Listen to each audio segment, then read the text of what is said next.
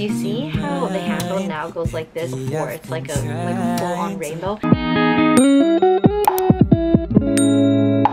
Hey guys, welcome back to my channel. So in today's video, we have another bag roundup. So now the transition is going to be from spring to summer, but probably in August, I'll do another updated one because summer is really long. You know, especially living in LA, summer usually extends until maybe about early October. But anyways, if you guys are interested to see the bags that I've used in the last couple months to the bags that I plan on using in the next couple months, then just keep watching. If you guys do follow me on Instagram, then you guys would know that I actually have been traveling quite a bit in the last couple months. Well, I guess just especially the last month. I've been traveling back to back. So my most used bag, without a doubt, I feel like will come to no surprise at all, is going to be my Loewe Flamenco bag with my little fox charm. It is currently stuffed because I did put it away. I don't know if you guys can see all of just kind of like the wrinkles and the divots. It's just, I use this so much. This was my go-to bag in Japan and I loved using this. The more that I was using this bag, the more I loved it as a travel, but it also reaffirmed the fact that I definitely need to get this in the larger sizes. I believe it's called like extra large. I think they have two sizes up for this, but the bigger sizes have the thicker strap, which is what I recommend.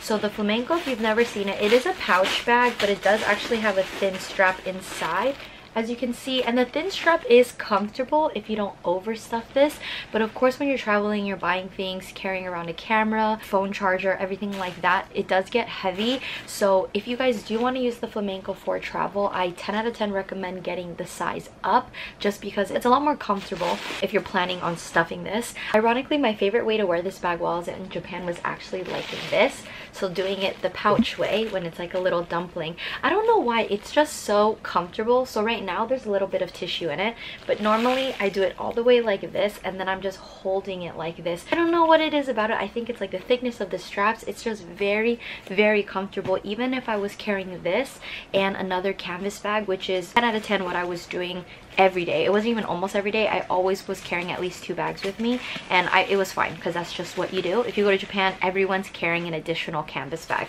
even guys, which is phenomenal. You guys know that I raved about this. A lot of you guys have messaged me on Instagram and told me that you bit the bullet on getting the flamenco and you love it to death. It's because if you've never touched the flamenco in person, I you just have to go into the store because the feeling of this leather is just so squidgy and soft. It's just so wonderful.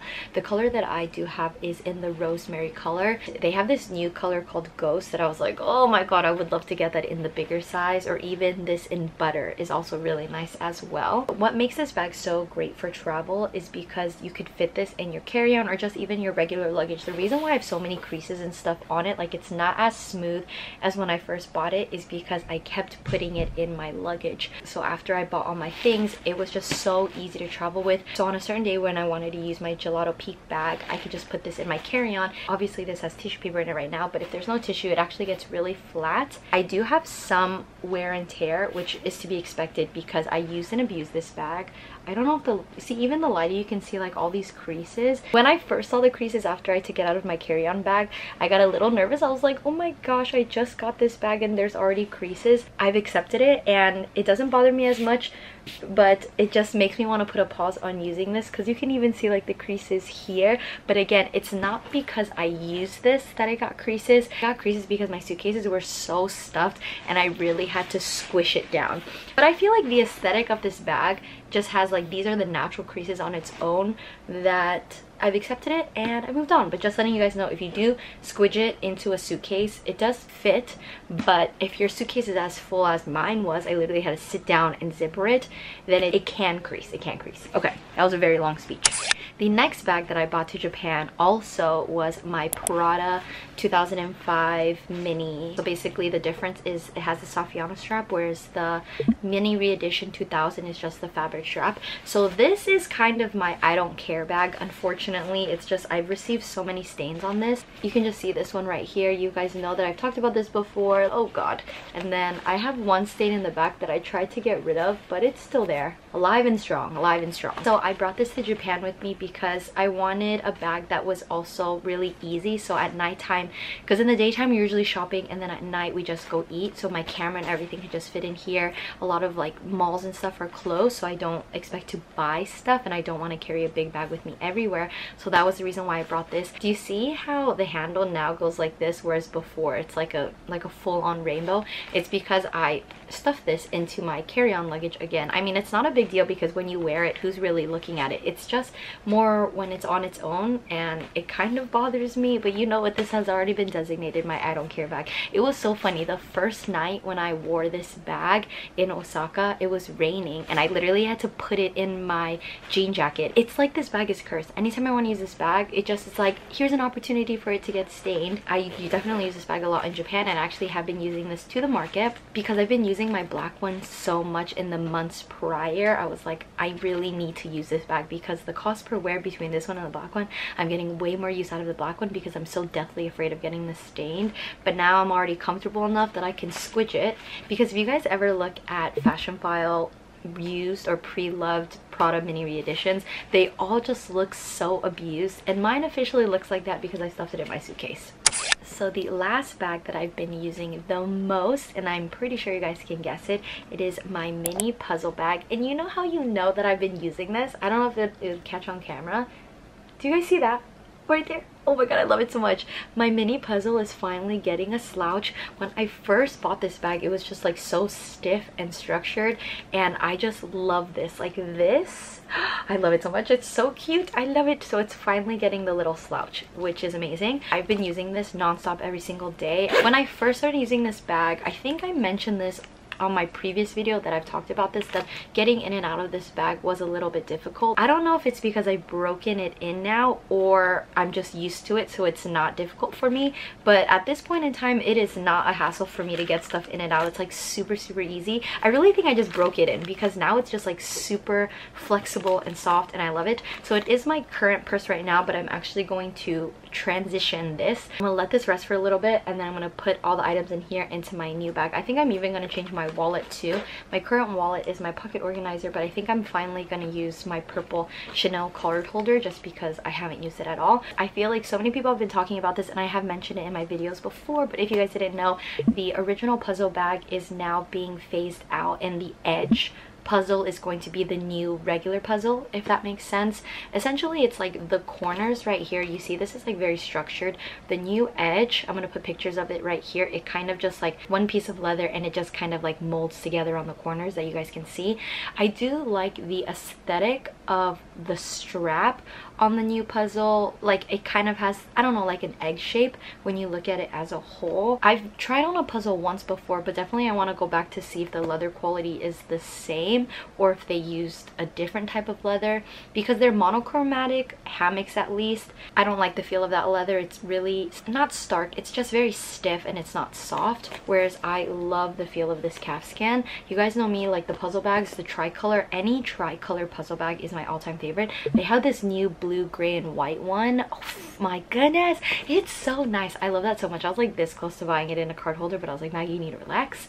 Have any of you guys ran out to loewe or nordstrom or wherever they sell loewe and bought a puzzle bag because you guys found out the news? I'm really debating on buying a small one because the small one has the zipper on the back or just getting another mini because I don't know the mini one is so cute but the beauty of the small puzzle is that the slouch is bigger and I just love the slouch so much. But I think if I were to get the small size i don't think i would get the tricolor. I think if i got a small size i would get it in just a single color. I love this so much. I know so many of you guys that have the mini puzzle. You guys also really like this. I'm gonna not retire it but it's gonna go up on my shelf for at least a couple okay so now i'm gonna tell you guys the bags that i plan on using actively proactively for the next couple weeks. My number one i feel like will be no surprise at all and it's going to be my brand new chanel small 22 bag. I've actually been using this for the last last maybe four four or five days. Not a full week but like four or five days off and on. The inside of it i currently have it stuffed.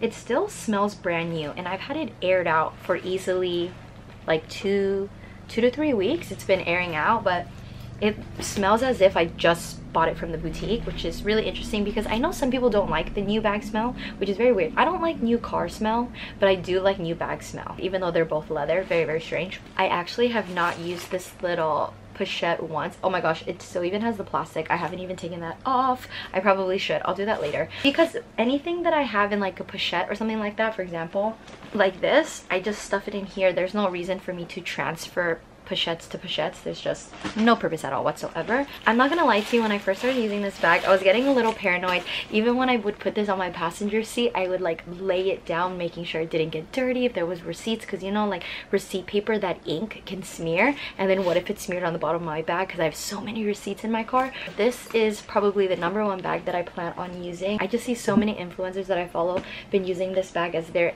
daily battle kind of everyday bag. So that is the number one bag that I plan on using.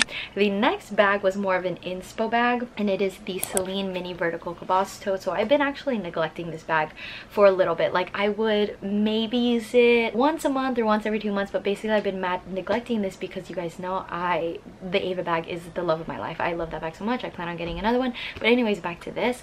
I've been neglecting this bag because it's very stiff and that's pretty much it. I just feel like not that it's hard to use but when i was in japan when i was in osaka especially i saw two girls in one night okay? In one night in a span of maybe an hour I saw two women with this bag and both of theirs were stuffed. Like it actually had some shape to it like this. And then it just never occurred to me to actually like fully, fully stuff it and really get my money's worth. You know what I mean? Like I would just kind of slip it, let it stay thin like this. It full on inspired me to use this bag. The moment that I was crossing the street and then I saw this bag, it just really lit a flame inside of me and I was like, I need to use this bag. So I've actually been using this bag a lot since I came back from Japan, but I did have to mention it because just I really, really enjoy this bag and I love just this kind of block with the brown. It's very loud. The more that I look at this, the louder it gets just because it's like Celine right there. But that's easily one of the reasons why I like it. They do have this in a couple different canvases. I know they had that seasonal one. I think it was like for Chinese Valentine's Day or something like that where it was like red and white, which is really cute. Definitely having this made me want to get this type of shape tote bag in a bigger size. You guys know that I'm leaning towards buying a raffia bag, especially that Loewe one with the black, tan raffia, and then the tan straps. Having this definitely inspired me. I want to get a bigger one. But so this is definitely another one of the bags that I've been using a lot. And it's very carefree too because of the canvas. I can just like chuck it anywhere. If this was stuffed to the brim and I just like everything would come out. Easily everything would come out whereas if i stuffed my chanel 22 and threw it in the back seat nothing would come out. Truly nothing would come out. So that's just the only downside. But who's really throwing their bags around really? Okay so we just have two more bags. So the next bag is a bag that i haven't used in quite a bit. Like i'll want to use this and force myself to use this but i just don't use it. So I'm actively going to make this one of my summer bags and it's very very small so you'll be very very surprised because I'm in my big bag girl era minus the rest of these bags are really small but it is my Bottega candy cassette. So at the time when I bought this it was called the mini cassette but now it is called the candy cassette and it is so expensive. Now I believe when I got this I think it was like around 800 something but now it's like a hundred 1250 but for sure it was less than a thousand. So i have the lambskin one. Of course the calfskin one has those kind of like edges. So i'm just super inspired to use this especially because it's summer so it's like color blocking and it's just really bright. Like i don't see myself wearing this in fall. Obviously you can wear these things year round but i don't know this to me this like screams spring and summer to me. I just haven't been using this so i want to use this because it does fit my car keys and it would totally fit like a card holder and stuff like that so the only thing is that it doesn't fit my phone. You know how every single brand is making an east-west and it's basically a longer shorter version? I want them to make an east-west cassette. So it's basically this mini or candy cassette but longer so it can fit the phone. So maybe just like two more squares on this side then that would be really nice. So it's shorter than their kind of bum bag cassette but longer than the candy. Just throwing that out there. Some options, some options. And then the last bag that I plan on using is going to be my Nano Speedy just because I genuinely haven't really used this at all. And the main reason that I want to use this is because I need to fix the coloring. So this bag if you guys have seen in some of my videos it's usually on that shelf right there. And there is a window right there. So my bag was faced like this. I don't know why. And both of my handles are two different colors. I don't know if you can see. You can that this is slightly more patina than this. So I'm letting it sit in the sun literally going like this so it can get at least maybe a layer or two of color so then they're even. And then after that I'm definitely gonna vlog it. I already bought some baby wipes when I went to Target and I'm going to do the whole Messire Ashley method where you use the baby wipes on the handles. I just want it to be even. It really bothers me that I left it like so the window is facing like this so all the light is just hitting one side of the handle and I'm just so stupid so stupid so I feel like most people wouldn't notice it if I'm just walking by, but if you actually stare at it, it is very obvious that this side was on the window and then this side wasn't on the window. So what a tragedy. But another reason why i wanted to use this bag is because i just got uh, a little keychain from the haneda airport and i decided i'm gonna put it on this bag. I haven't decided if i'm gonna put it on like the handle bit or the side bit but i just want to use the keychain so because the keychain I feel like is too big to put on my keys so it's gonna be kind of like a little bag accessory but yes I remember at one time this was my go-to bag. I mean I have so many I cycled through so many phases. I really just want to get this darker the patina. I want it to patina more. Alrighty guys we have come to the end of today's little bag roundup. Were you guys surprised? Not surprised at all. I feel like this and this came at no surprise to any of you guys. This one, absolutely no surprise that it's my most used and this being my bag of the summer. So I was finally able to check box getting a white bag so that was really awesome. And then also let me know down in the comments if you guys would be interested in seeing a comparison video between this bag and the 22 i feel like they're similar enough that people could be debating between them and i have mentioned before i feel like the flamenco is kind of the in more inexpensive version of the chanel 22 have any of you guys had the problem as me where one side of your bag is darker than the other? Oh no just me? Okay got it got it got it. But as always i hope you guys enjoyed today's video and if you guys did enjoy it please don't forget to give this video a thumbs up and don't forget to subscribe. It really helps support my channel and I'll see you guys in my next video. Bye guys!